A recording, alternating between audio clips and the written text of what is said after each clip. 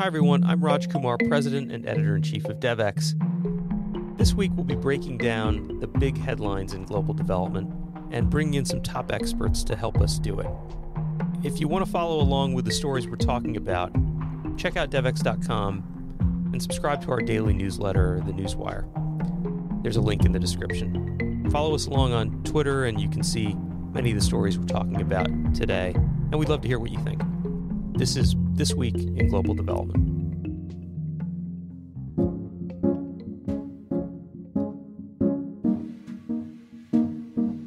Hi, I'm Kate Warren, Executive Vice President and Executive Editor at DevEx.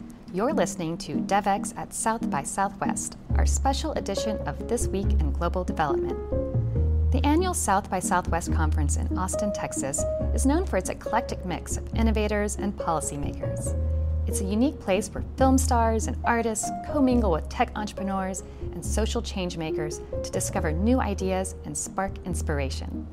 Increasingly, it's also become a hotspot for global development leaders looking to break out of the usual event circuit echo chamber. I'm here at South by to talk with leaders about ways that technology and innovation can supercharge the Sustainable Development Goals. Listen in for what's next in a range of sectors from food to health to climate and conflict, and how these advancements can reach the most vulnerable. In this episode, we'll hear three perspectives on the role of investment, technology, and innovation in building a more equitable future. Hala Hanna is the executive director of Solve an initiative of the Massachusetts Institute of Technology that launches open calls and backs innovators working to solve global problems. We'll also hear from Najada Kumbuli, Head of Investments at the Visa Foundation, the philanthropic arm of Visa, on the case for gender lens investing. And Nazanin Ash, CEO of Welcome.us, will discuss how tech has accelerated her team's work to create a safe haven for refugees in the U.S. While each of these leaders focus on different causes, they're all working on new and innovative approaches to serve vulnerable groups. We'll start with Hala Hanna. Well, Hala, thank you so much for joining me today here at South by. So, maybe for our audience that's less familiar with MIT Solve, can you talk through how you approach um, you know, incubating innovators in yeah, this space? Yeah, absolutely. You know, when I think that there is a there's a gap of $4 trillion if we're going to achieve the SDGs.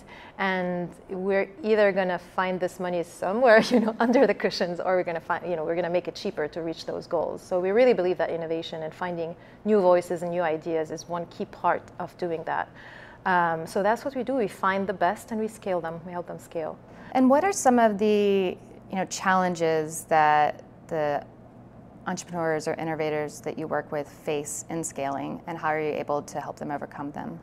I would tell you that the barrier to scale from the get go is always capital. Uh, so we provide non-dilutive capital to our innovators, and we also, in, you know, one of our key metrics or the key thing that we're pushing for is more uh, philanthropists uh, providing that kind of capital as well. So we've mobilized to date $70 million to our entrepreneurs. Um, and uh, it runs the gamut really you know? Because sometimes i also think of the scale in the context of uh, social impact. It's not always about the breadth it's also about the depth.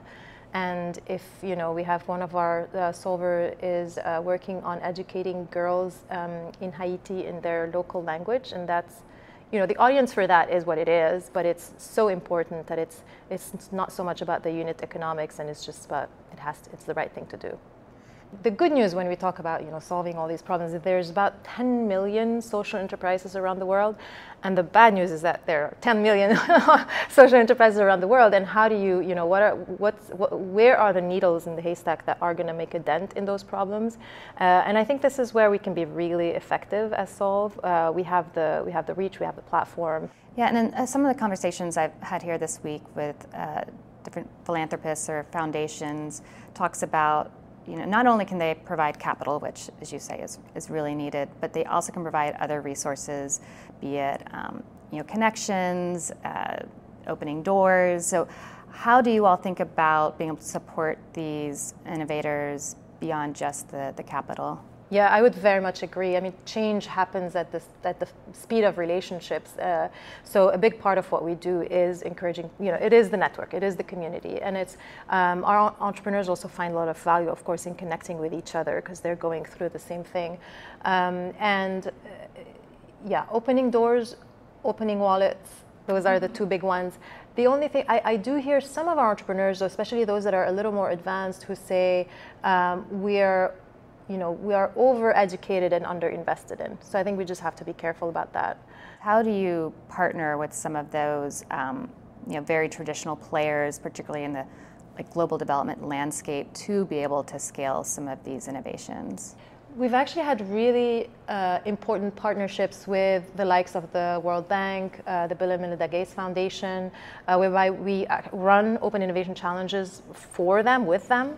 Uh, so we're developing very much the challenge that they're looking to find innovations for, and they typically have already on the other side of the selection, um, you know, the the uh, the services or the you know the help set up so that they can incorporate those innovations in their work on the ground. And um, you talked a little bit about you know measuring the impact. Could you maybe delve a little further into you know the methodologies and frameworks you use for measuring the impact of these tech-based interventions? It's about you know how much money is moving from these entrepreneurs uh, to these entre- types of diverse entrepreneurs on the ground. It's uh, you know how good is our how good is our selection and how good is our program at actually helping scale. Um, and so for, you know, when we, we're very encouraged that there's already $70 million mobilized from our, uh, you know, from the partners that we work with to entrepreneurs, of course, want to, uh, you know, double this many, many times over. So our survival rate for entrepreneurs over five years is 90% compared to 70% for uh, similar programs. Um, but uh, you know we're also looking at the net promoter score at uh, you know how many lives are reached our, our solvers reach 190 million lives around the world. Um, and we're talking about all the you know the typical methods of m- monitoring and evaluation quantitative and qualitative.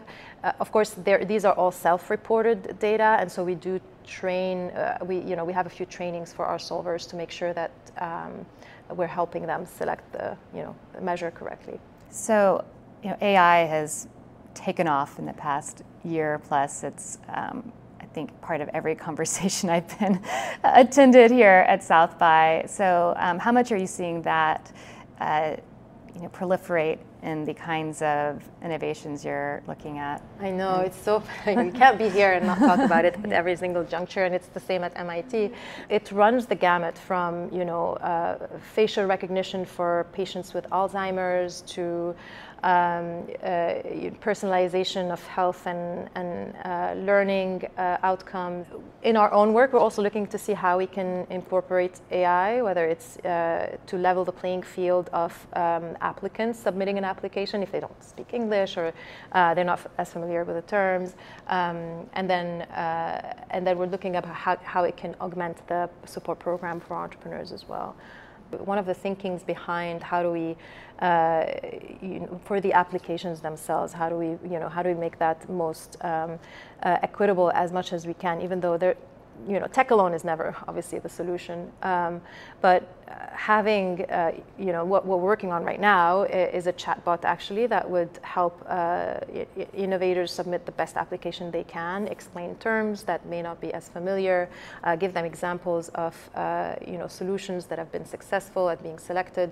Um, so really, within the solutions that they're already building, what is the best application that can help them, uh, you know, that can show their best? Is there a common profile that tech startups and innovators can look to from you know the many that you've worked with that have been successful what are maybe some you know, common ingredients? Yeah I would maybe keep it very simple to two things. The first one is uh, proximity to the problem, and it doesn't have to be that we are, you know, of course, it's the, the, the, most proximate is that we're from the community and we're working with the community. But there also we do have some solvers who are just so embedded in the problem that they really, really understand the concept and the culture and what would make uh, a solution actually stick.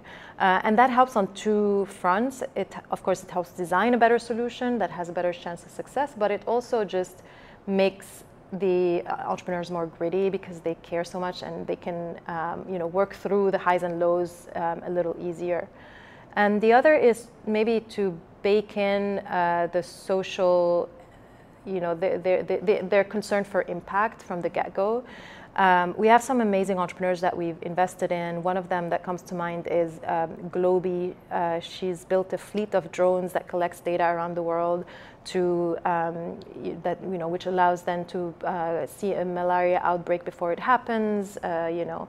Um, uh, a drought before it happens, um, and, it, and you know she works with governments and big um, organizations to to prevent and uh, she's you know she's gone through her um, equity round uh, very successfully but she's put in her terms everywhere that her data will be used for good um, and that you know a lot of it is open to the public as well you know as we look ahead to 2030 and sdgs it looks pretty bleak right um, i imagine the people you work with give a lot of hope and inspiration. Um, so maybe you can leave uh, our audience with some of that hope of, of some of the great things that are happening out there, some of the things that are working, um, or what gives you hope in the work that you do.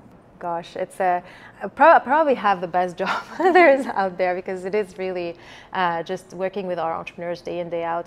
I think the main thing is that they demand more of technology, and I think so. So should we uh, you know, they're putting it at the service of, uh, of good and of their community uh, and of, you know, uh, tackling those huge issues that they have.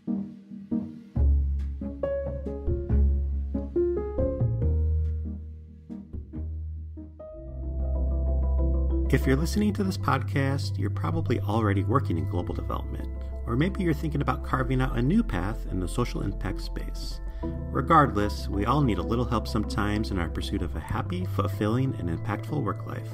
Whether you're actively searching for a new role or looking for some pointers on how to strike a healthier work life balance.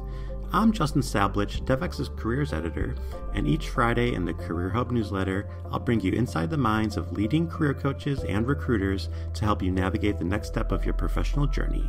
You'll also have access to the latest hiring and salary trends and a weekly dose of the best leads from Global Development's largest job board. Visit devex.com slash careerhub to subscribe.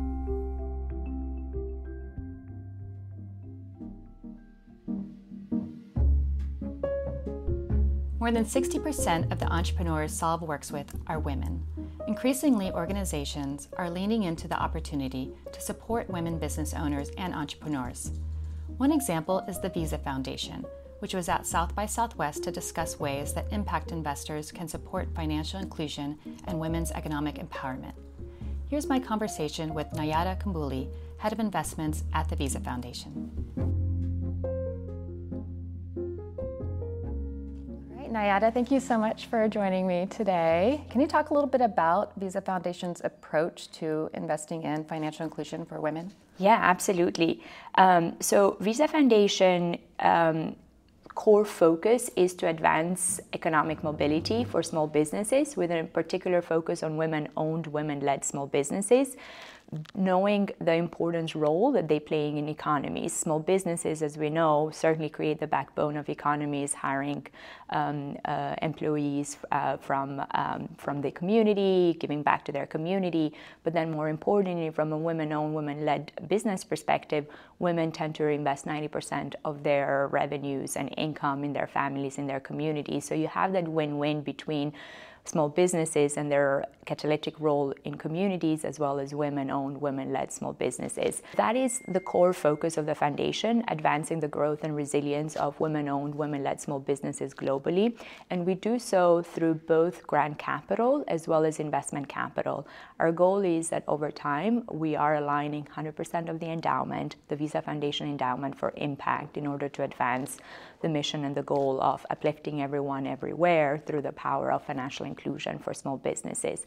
And I can share more about our approach as well there. Yeah, yeah, I would love to hear about your approach, um, and particularly on the investment side, um, and you know what what is Visa looking to get out of that from an investment perspective, and what are some of the you know challenges with that model versus maybe the the grant approach? Yeah, no, absolutely. So. Um, when I joined the Visa Foundation about three and a half years ago as the first head of investments for the foundation, the goal was to really build all our investment activity from scratch. So I started with a blank piece of paper. And I remember when I was talking to the president of the foundation, when I was interviewing for this role as well as the board, I said, "Well, I'm really excited. Like, I'm really excited about this opportunity. However, I'm only taking this position if we are really going to integrate a gender lens in an authentic um, and deliberated manner." And so when I joined, essentially the the way that we have built the approach and the operations for the foundation is that we invest in women led or diverse fund managers across asset classes and geographies, then, then in turn are investing in women entrepreneurs as well as entrepreneurs from underrepresented backgrounds. We know that there is a massive shift from a capital um, ownership perspective that will ha- like will happen in the next couple in the next five to six years, with women owning hopefully an, like 30 trillion of capital, um, and that will shift how we really think about um, who owns the capital, where the capital is allocated, and where the cap like where the capital is benefiting um, communities and other entrepreneurs. So again, to, to summarize, basically we've been laser focused on investing in women-led funds that invest in women entrepreneurs, both from a financial perspective, because that has been proven that they are generating really attractive returns and sometimes returns that are higher than their known diverse peers and also benefiting these entrepreneurs, women entrepreneurs that have been lacking capital access for decades. And can you talk a little bit about some of the, you know, maybe challenges that you face in the sector, whether they're, you know, regulatory or different market dynamics, social barriers. Um, can you share a little bit about those and maybe how you approach so them? from where we sit, given that we have deployed um, from, from a total capital perspective, we've uh, committed more than 200 million around this goal. Um, we've certainly have um, we have funds, as I mentioned, women-led funds across geography. So it's kind of like it's it's it's neat to see the differences, but also the similarities um, a cross cutting thing from a challenging perspective is this view that these funds are still quite young. Um, from a from a track record perspective, most of the time these are first, second time fund managers. Um, they are small, so um, ultimately um, can be cha- like they, they, can face challenges as it relates to raising traditional um, financial capital. Um, and sometimes they're perceived as too niche or just impact oriented. So we're really trying to, um, to break all of those kind of like biases um, by backing both first time emerging women led funds that fits bullseye with our strategy, but also shifting the dynamics around established players and how they bring in on board women at the senior leadership level, um, how they like how they make sure that from an incentives perspective and ownership of the firm perspective, they're on equal footing, and from a decision making perspective. Um, so, so, so I think it's more about breaking some of those biases and and making sure that capital is flowing, and sometimes even being creative on the underwriting process, knowing that an emerging fund manager looks very different from a firm that has had decades of experience with track record and you can, it can show you how they're doing inter, like against the benchmark.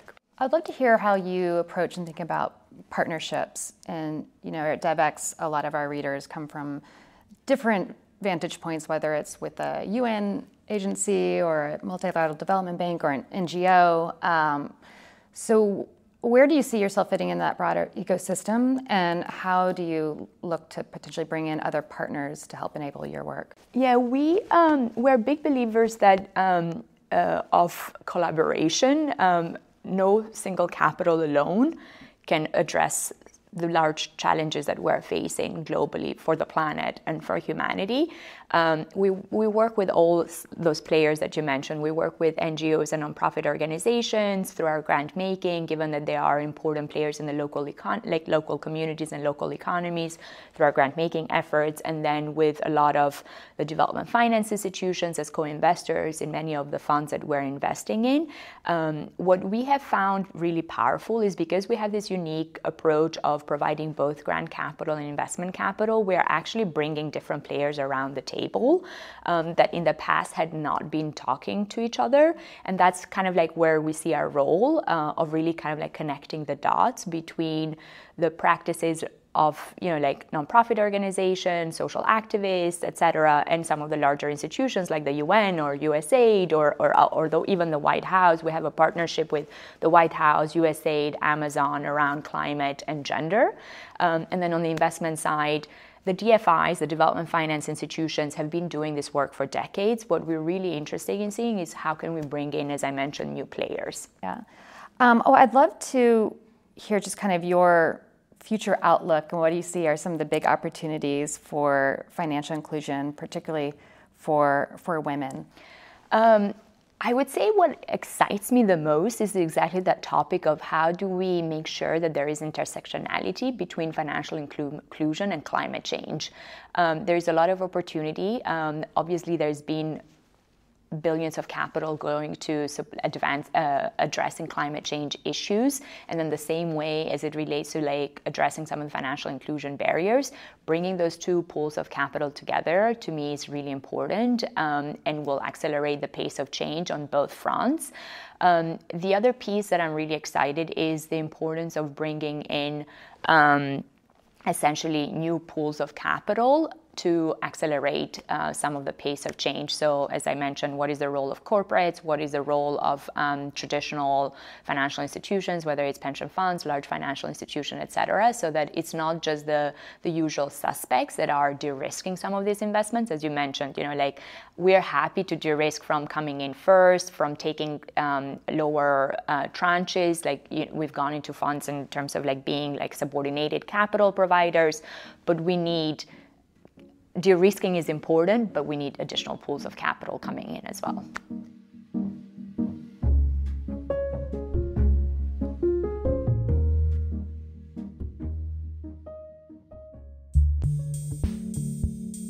Are you interested in the intersection of business and social impact? Do you want to know how corporate sustainability, ESG, impact investing, and more can contribute to development finance?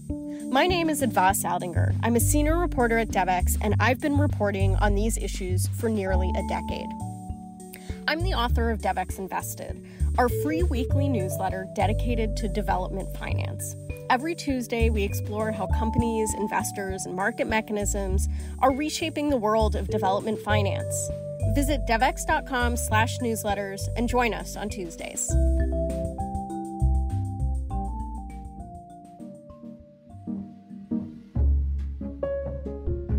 Like Solve and the Visa Foundation, Welcome.us really leans into cross sector partnerships as a way to accelerate social impact.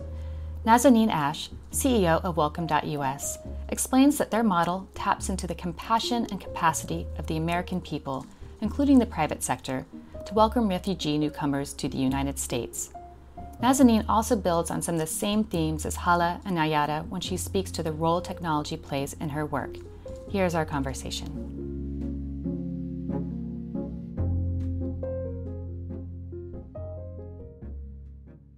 So, uh, immigration is not just a, a U.S. issue. There's uh, immigration happening all over the world, and migration is expected to become um, even more of a driver with climate crisis. And so, what do you think? Uh, you, you, before you joined Welcome.us, you were with International Rescue Committee, USAID.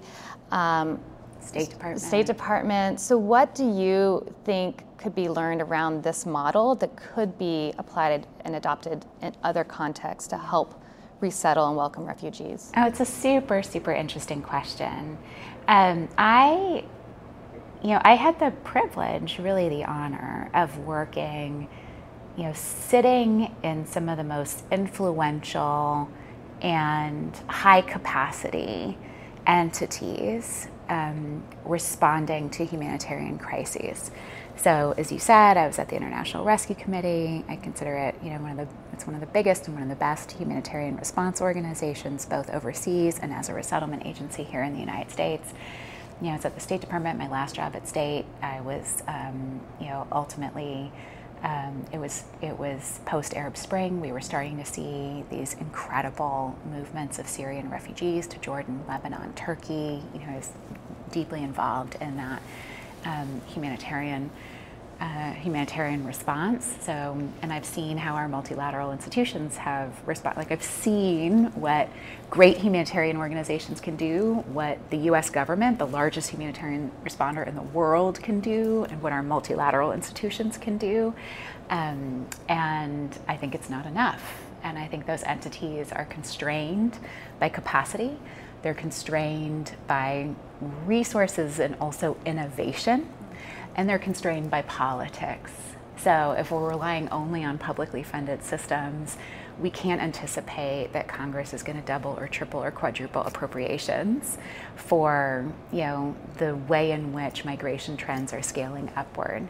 You know, a stat I use often is you know the average annual refugee admissions through our government-funded traditional refugee resettlement system has been 70,000 a year for the last 30 years.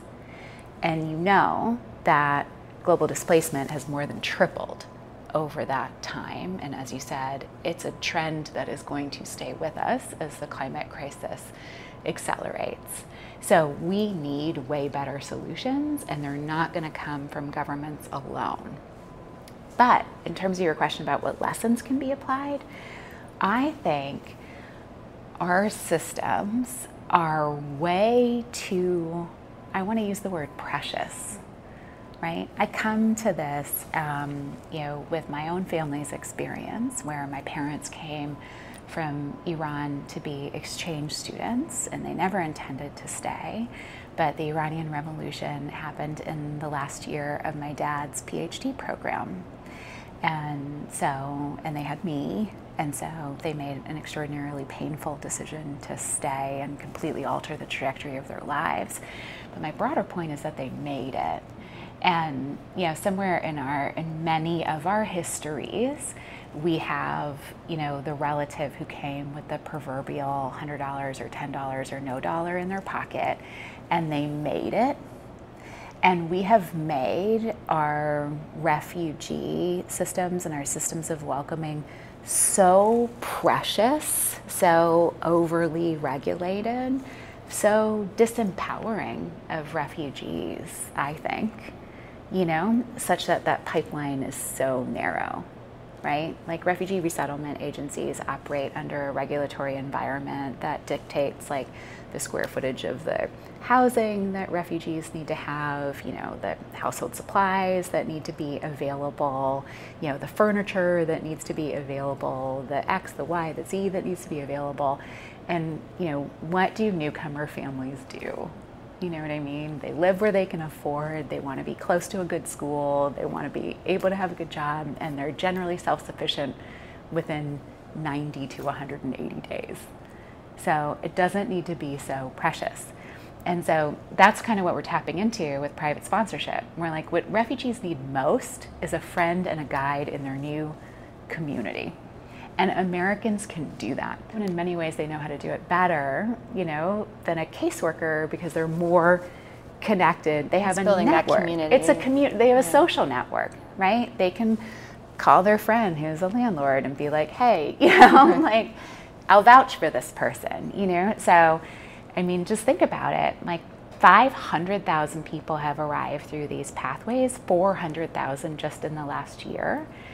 That is five times the number of the 30 year annual average I shared with you. And that happened in a single year. And so, you know, you mentioned innovation and this tech platform you have, and obviously we're here at South by, and everyone is talking about tech innovation.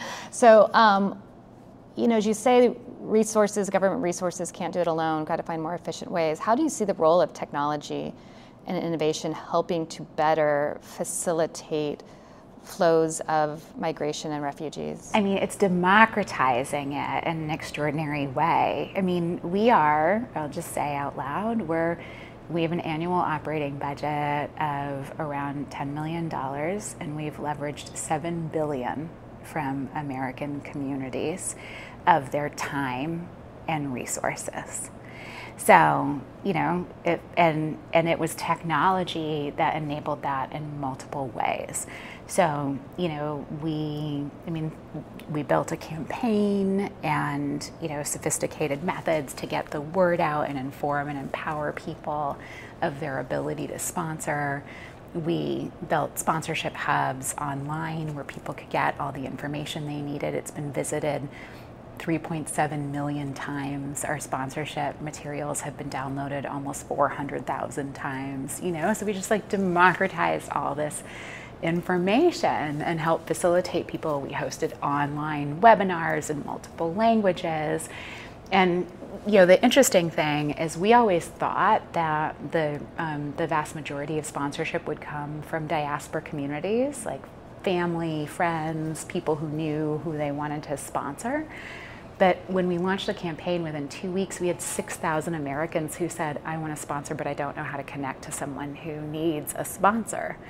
And that's when we partnered with the private sector to build this Welcome Connect platform, which you know serves this this um, community of Americans who want to sponsor but didn't have a way to connect safely and securely in a way that protected refugee newcomers and protected them, um, but where they could match and and um, and you know contribute what they have to contribute as sponsors.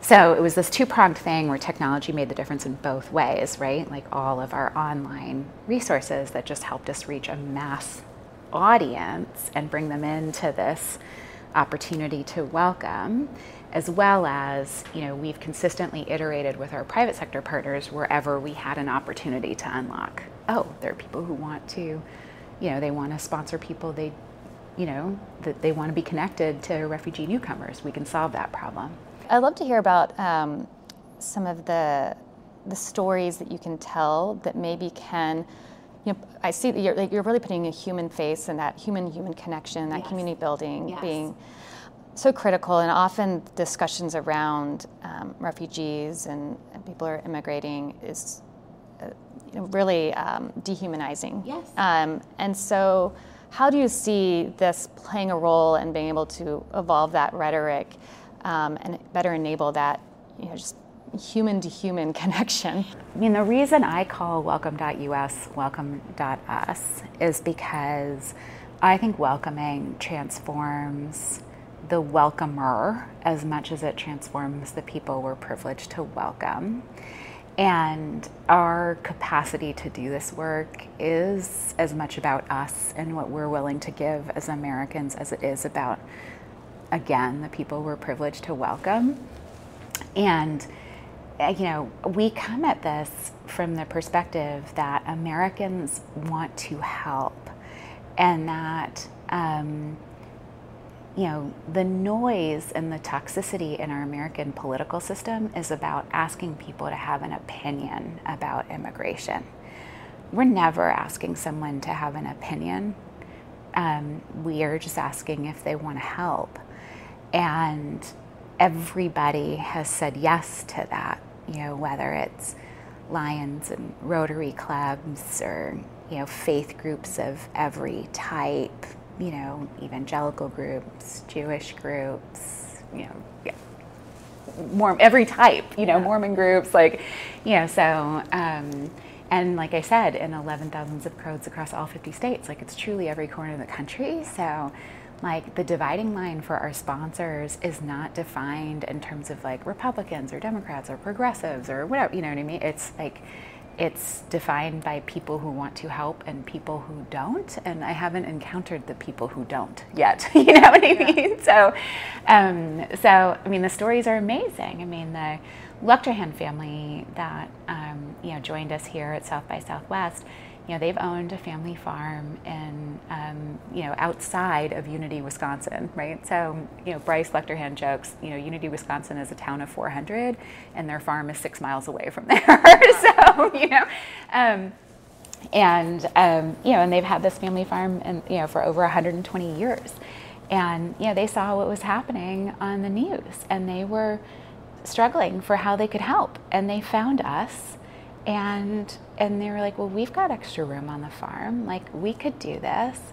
And, and so they did. And the whole town is pitched in to wrap their arms around this family. You know, the local librarian became their English language tutor. Like they're, you know, both parents are working locally. The mom now is a teaching assistant, the dad in a meat processing plant. Like the boys are in school and, you know, there's a we did a story it's an amazing film. It's called one good reason. And the interesting thing about the film and, and that we did in partnership with ServiceNow because they wanted to tell the story of like what their engineers had done. Like their whole this is what i mean by nobody said no right? We go to ServiceNow and we're like can you help us? You know actually if you really want to go back like we had this partnership with um, we have this partnership with the private sector 40 national companies that sit on our ceo council um, Goldman Sachs was the first company to really get behind the sponsorship initiative. You know, they helped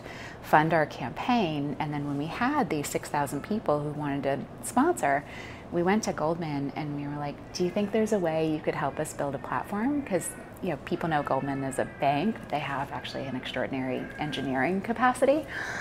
And it turns out there was a Ukrainian American um, engineer and a Russian American engineer colleagues who had each been resettled to the United States in the 1990s under the Refugee Resettlement Program. And they worked for Goldman, they were Goldman engineers. They saw what was happening with Ukraine. Um, they were seeing, you know, Ukrainians trying to find sponsors in unsafe ways, like on Facebook and on the internet. And so at the same time we were asking this question, they were coming to us and saying, could we partner and help do something about this?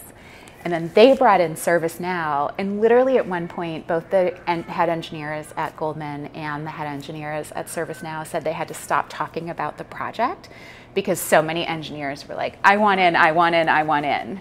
And they built this platform for us in six weeks. Wow. So it just speaks to like, you know, you open a door to people to be able to help and they rush right in. All we needed from the US government was to create the policy innovation, open the door for American communities and the American private sector to make their contributions, and they will. They'll rush right through.